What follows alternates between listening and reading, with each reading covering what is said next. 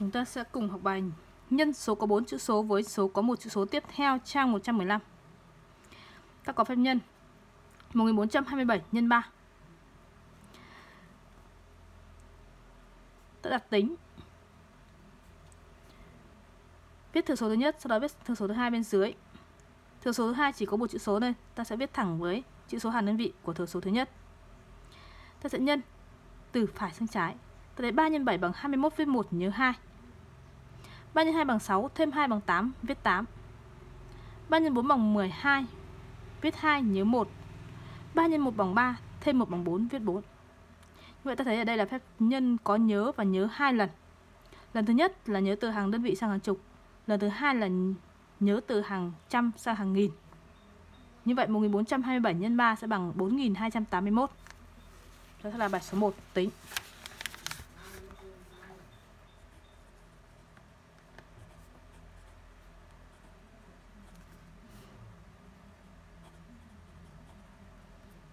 Phép tính thứ nhất 2318 nhân 2 2 nhân 8 bằng 16 viết 6 nhớ 1 2 x 1 bằng 2 thêm 1 bằng 3 viết 3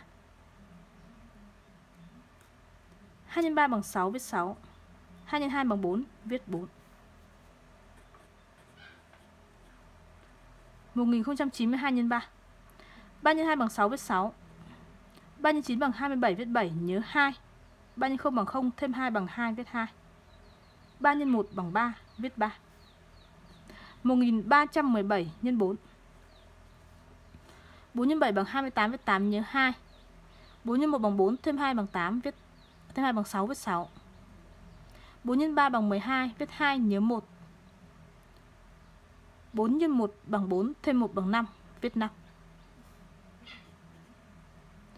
1409 nhân 5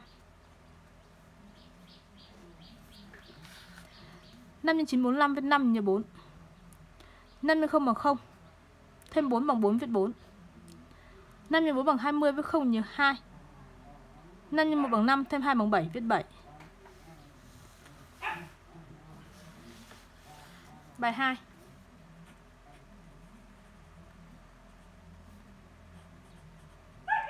Đặt tính rồi tính.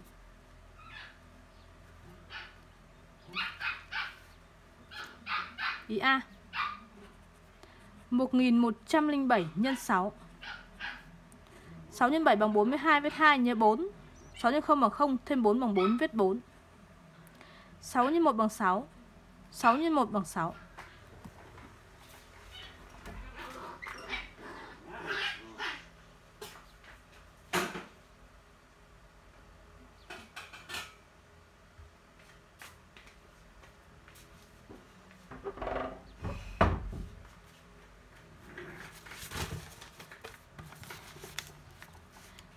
tính thứ hai. 2319 nhân 4 9 nhân 4 bằng 36 với 6 nhớ 3 4 9 bằng 36 với 6 nhớ 3 4 nhân 1 bằng 4 thêm 3 bằng 7 viết 7 4 nhân 3 bằng 12 viết 2 nhớ 1 4 nhân 2 bằng 8 thêm 1 bằng 9 viết 9 B. 1106 nhân 7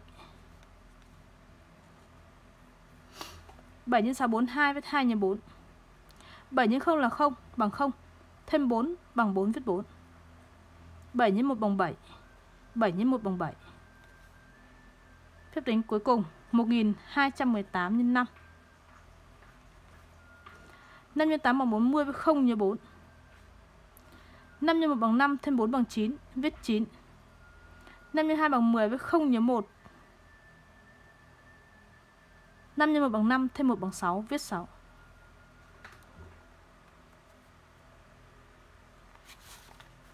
Bài 3.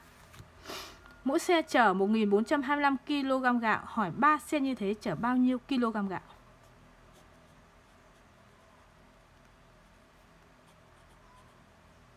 Bài toán cho biết mỗi xe chở 1.425 kg kg gạo. Bài toán hỏi 3 xe như thế chở bao nhiêu kg gạo? Ta sẽ có tóm tắt một xe. Thì 1425 kg gạo. 3 xe. Thì bao nhiêu kg?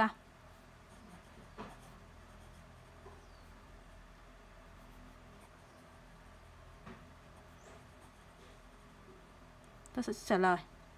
3 xe như thế.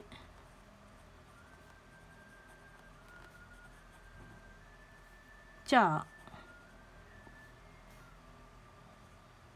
số kg gạo là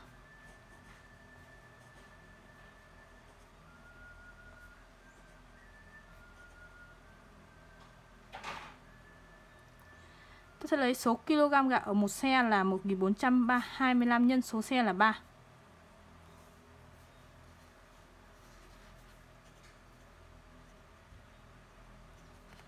3 x 5 15 viết 5 nhớ 1 3 x 2 là 6 thêm 1 bằng 7 viết 7 3 x 4 bằng 12 viết 2 nhớ 1 3 x 1 bằng 3 thêm 1 bằng 4 viết 4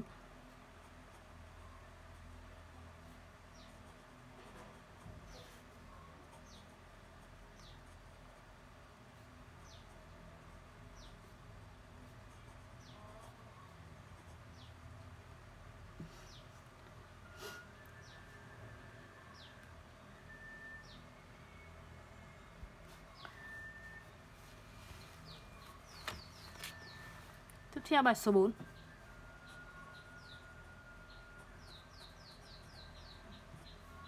Tính chu vi khu đất hình vuông có cạnh là 1508 m.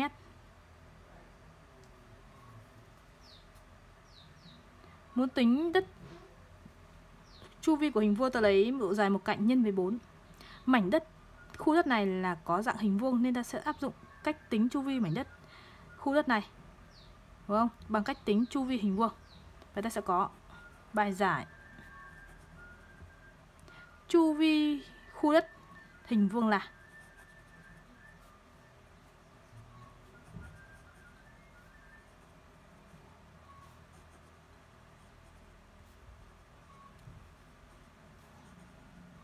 Tôi lấy độ dài một cạnh 1508 x 4 bằng